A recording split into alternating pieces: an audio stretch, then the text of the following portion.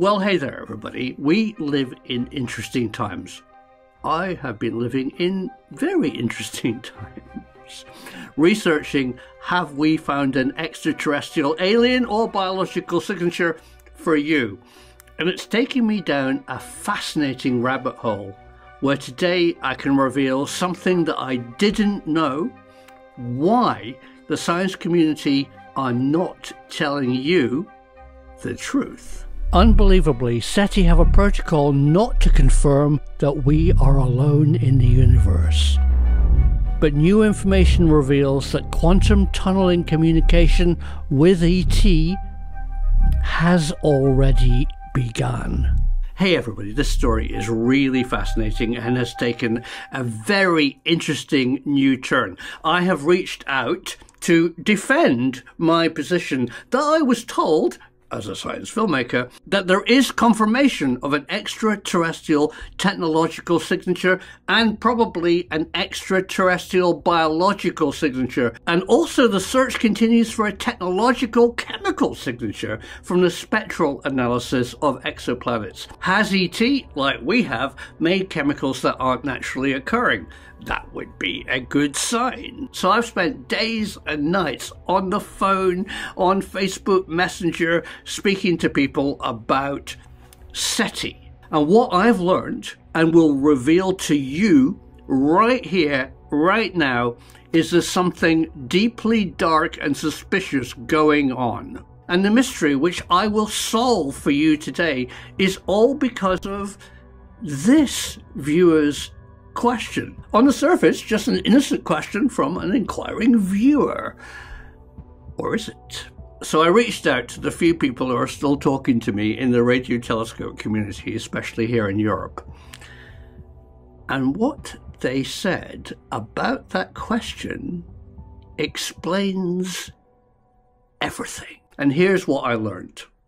What I and possibly you don't know is there is a protocol about disclosure, about confirmation. It's a little known protocol accepted by SETI, by the radio telescope community, and possibly Breakthrough Listen, who might well break the rules but understand this protocol and how it works. And it's very much the protocol accepted by organizations such as the UN, religious groups such as the Vatican, and your government. So, what is it, Simon, and why don't we know about it? Well, it's written by Dr. Peter Schenkel. He wrote this fascinating advice specifically aimed at the science community of how they could F up, how they need to control disclosure, how they need to confirm everything before releasing it to the general public. And that's what's happening right now in 2024. We, the members of the public, are being drip fed bits of information to soften us up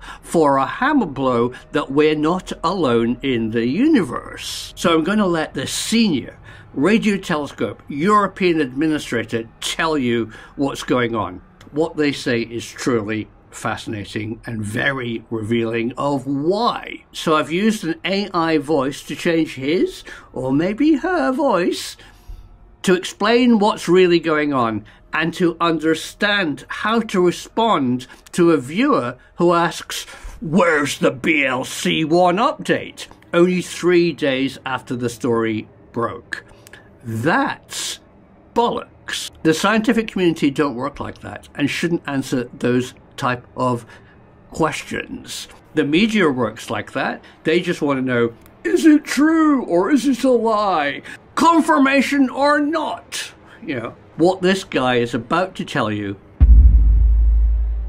answers all your questions. It took actually quite some time for Dr. Peter Schenkel to think out the roadmap of how to publicly disclose alien contact. From his work with the United Nations, he knows how the general public reacts, and he knows exactly how to change people's way of thinking in a positive manner.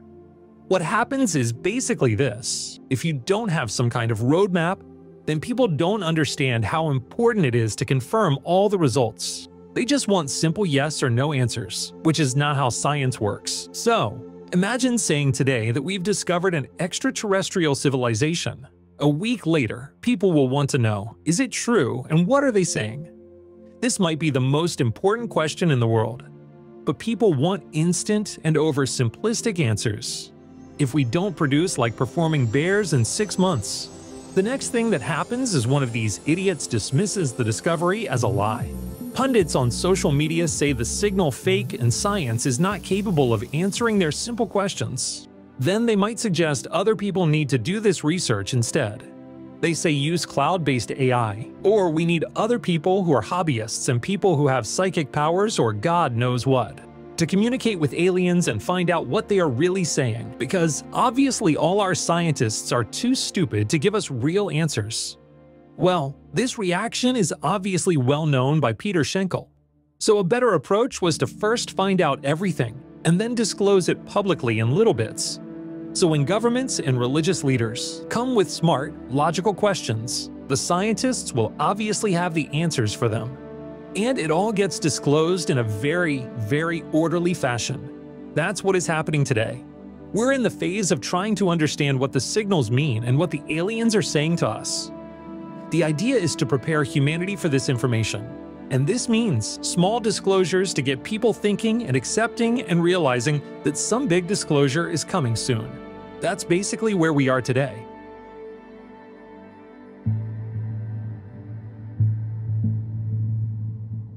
Everyone has heard of SETI, but fewer folk know about METI.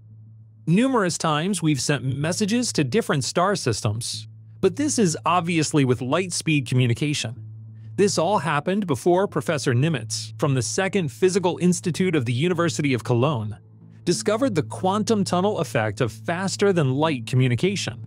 His first disclosure of a quantum tunnel effect was his waveguide experiment, and a lot of people said, oh, it's total rubbish.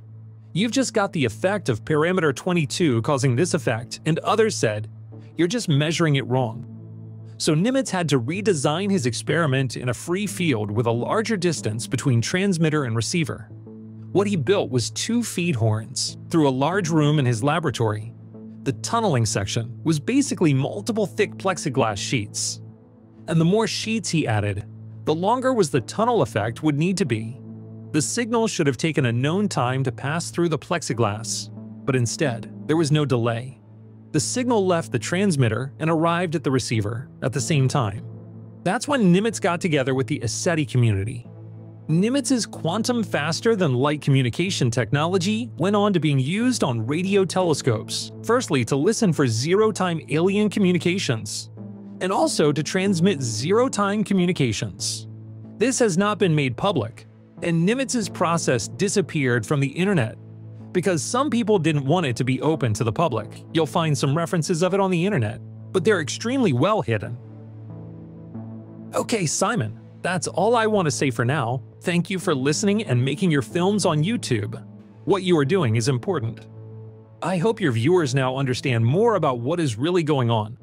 Wow, that was really mind blowing. Not only did it explain why SETI and other organizations are reluctant to release early data but according to my source, and you heard what he said, quantum, faster than light communication for listening and possibly talking already exists.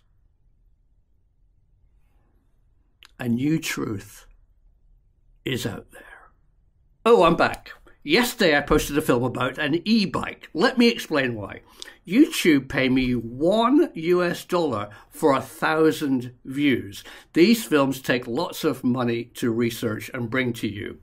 Most of my films earn 20 bucks. But I still have to pay for Zoom calls for AI voices for music and archive. So the occasional sponsored video is how I support this channel, but you can help.